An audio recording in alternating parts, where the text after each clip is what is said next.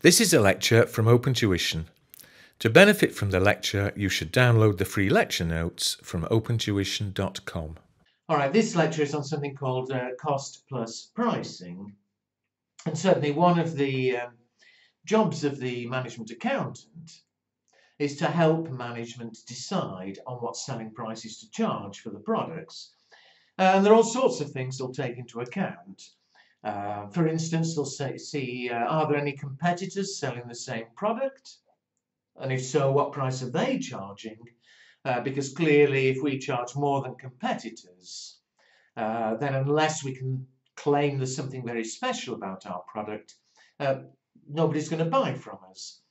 Um, so there are all sorts of factors we'll consider, but one obvious factor is that in any normal situation, will want to sell at a price higher than cost in order, obviously, to be uh, making a profit.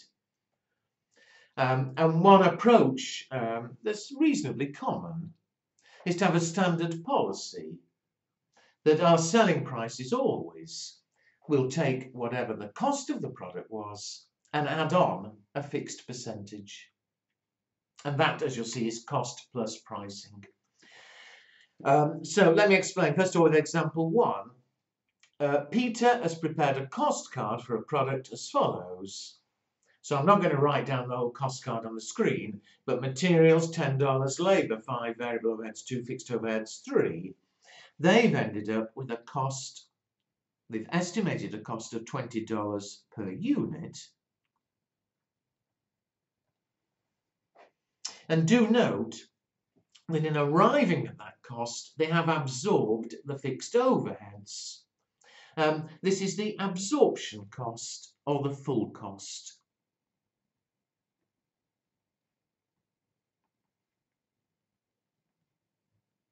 We said enough in the early chapters about absorption costing and where those figures may have come from.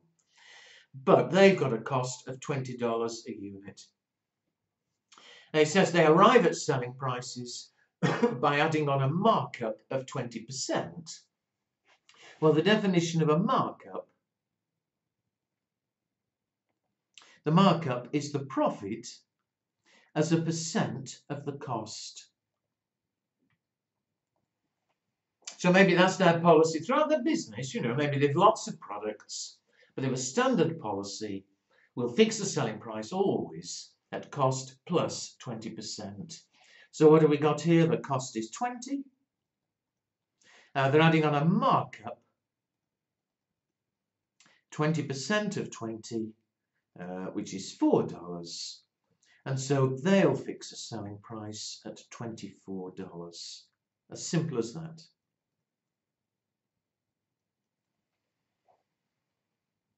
So there we are. That is full cost pricing, full cost plus. Uh, one small thing before I say more about it um, is that here their policy was to add on 20% of cost. It was a markup, but it can be expressed in a different way. Uh, look at example two. Paul has prepared the following costing for a new job. Again, materials, labour, variable overheads, fixed overheads. In example two, Again, they have absorbed the fixed overheads and they've got a full cost or an absorption cost of 18,000. However, this time it says they require a margin of 20%. Now you saw in the previous one, if it's a markup, that's the profit as a percent of the cost. That's easy, just add on 20%. But when it's a margin, the margin is the profit as a percent of the selling price.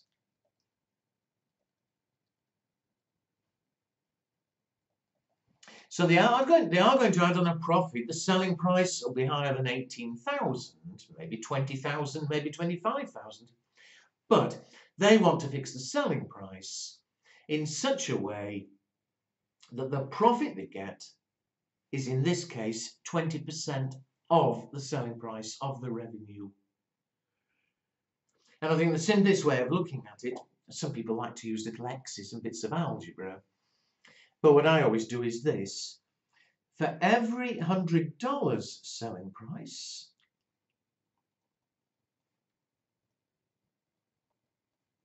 We'll go back to our question in a minute. But for something they sell at $100, they want the profit or the margin to be 20% of the selling price.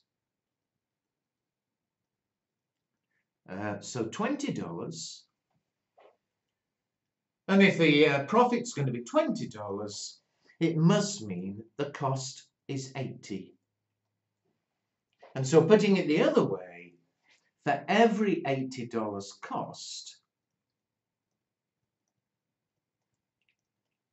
whoops, the selling price will be 100.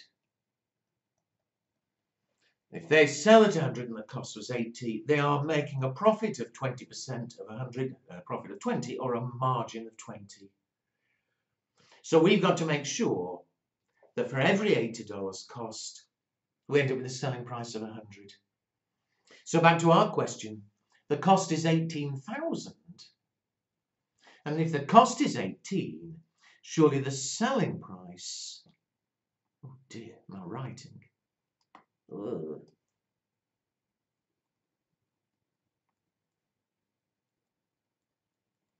Well, it's $100 for every 80 cost. So it'll be 100 for every 80 of the cost of, what was it, 18,000. And so they'll fix a selling price of twenty-two five hundred. And make sure you've got it. I mean, it does check, but in the exam, for heaven's sake, don't waste time checking. But if they have a selling price of twenty-two five hundred, Remember, they wanted the margin to be 20% of selling price. And 20% of 22,500 is what? 4,500? And so, if they're making a profit of four and a half on a selling price of 22 and a half, that must mean the cost is 18,000. So it does work, but I say again, don't waste time checking in the exam. But do be careful. Uh, remember the difference. If they tell you that the profit is a markup, it's easy. Just add that percent of cost, as we did in example one. If, on the other hand, they tell you the profit is a margin, percent of selling price, then there's that little bit of extra workings needed to decide uh, what the profit added on will be and therefore what the selling price will be. So that's just learning the words and being careful. However, that was full cost pricing. And that's fine. Look back at example one uh, for a moment. Example one, the cost of materials 10, labour 5, variable overheads 2, fixed overheads 3, a total of 10, 17, 20.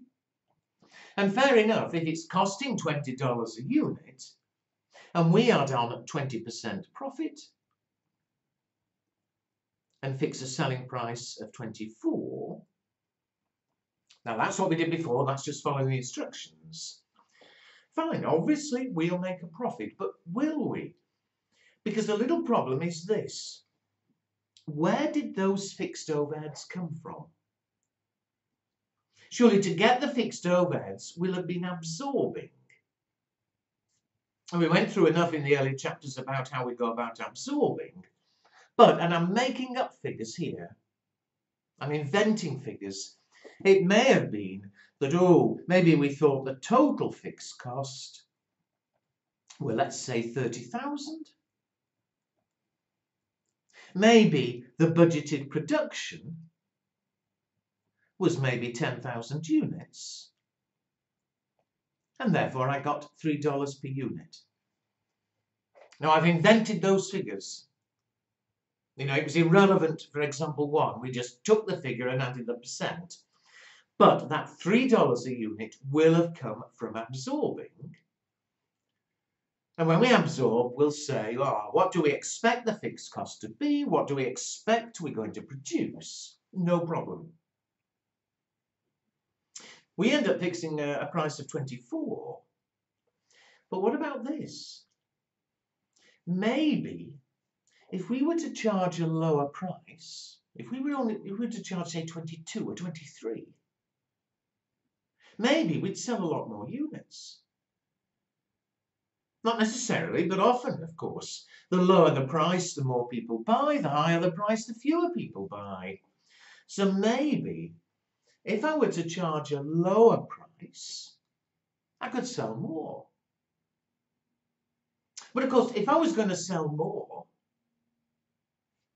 fixed overheads themselves would still say at 30,000. But if we were going to sell, say, 20,000 units, the fixed cost per unit would be lower. The cost would be lower. And of course, if the cost was lower, even adding on 20%, we could afford to sell at a lower price. And that's a little problem for us that with full cost plus, arithmetically it's easy. But the problem is deciding how many we're going to produce in order to get the full cost to absorb the fixed overheads. Uh, there's a problem. And so an alternative approach is to avoid that problem with fixed overheads is to use what we call marginal cost plus. And it's exactly the same uh, approach, except that instead of adding a percent to the full cost, we add a percent to the marginal, the variable cost. So look at example three. Mary has prepared a cost card for a product as follows. Materials $8, labour $5, variable $3. But on a marginal costing approach, don't bother absorbing the fixed overheads. We've ended up with a marginal or a variable cost of $16 a unit. So same idea as before, but we're not absorbing the fixed overheads because of that problem, knowing how many units there are going to be. Their policy, they arrive at selling prices by adding a markup of 40% to the marginal cost. Well, they've already been through the uh, definition of markup. So they'll take the marginal cost of 16, they'll add on the markup of 40% of 16, which is what? $6.40. And as a result, if this is their policy, they'll fix a selling price of 22.40 per unit. So again, it's an easy exercise. I said before, be careful whether it's markup or margin. And obviously, as a result of what I've just done, be careful as to whether the question wants full cost plus or marginal cost plus. Uh, the beauty of marginal cost plus, of course, is we haven't had to absorb the fixed overheads. I won't repeat what I said before about the problem. However, even with marginal costs, we've still a problem because, of course, there are still going to be fixed overheads. That markup is the contribution. There are still going to be fixed overheads. And so when we decide what percent to add on, we obviously need to add on a bigger percent than before uh, because there are going to be fixed overheads. And the question in real life is, of course, what percent do we actually need? And so neither method is perfect. Uh, for the exam, it, it, it's clearly just following instructions. Is it full cost plus? Is it marginal cost plus? Are you given the percent as a markup or are you given it as a margin? So there we are. That was a relatively short chapter.